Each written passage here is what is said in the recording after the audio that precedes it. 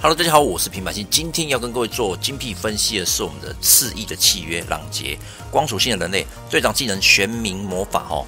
人类攻击力人类哦没有没有限属性啊，人类攻击力三点五倍，合计消除带等于六粒的光或暗吧，它写斜线，我我认为是暗或啦，不过是不是或不太重要，因为等下再跟各位解释。好，消除六带等于六粒的光暗符时，人类的攻击力额外提升一点五倍，等于三点五乘一点五。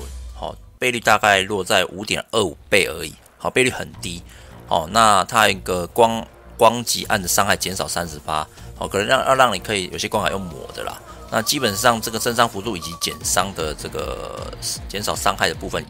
都蛮少的，我自己觉得，哦，所以队长技能我可以直我我我暂时来来讲，我们不用太太着重在这个部分，可以直接略过。那队伍技能的话，啊，朗杰生命力两倍。那发动条件以朗杰做成员，而且队伍当中只有光属性人类的成员，那他只有他自己本身生命两倍，所以我觉得这个好像也没有太大的用处。我们直接来看主动技的部分。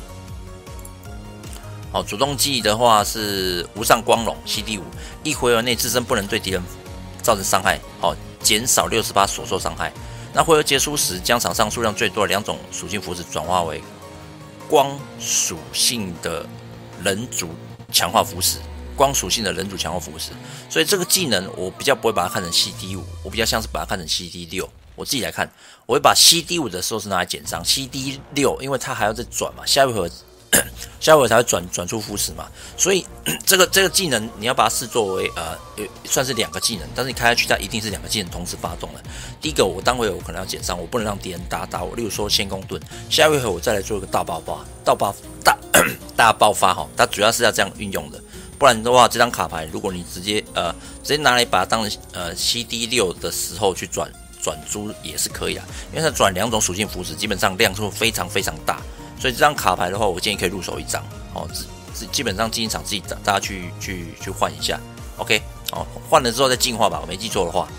哦那以上就是这一次次翼的契约朗杰的精辟分析，我是平凡信，我们下次见，拜拜。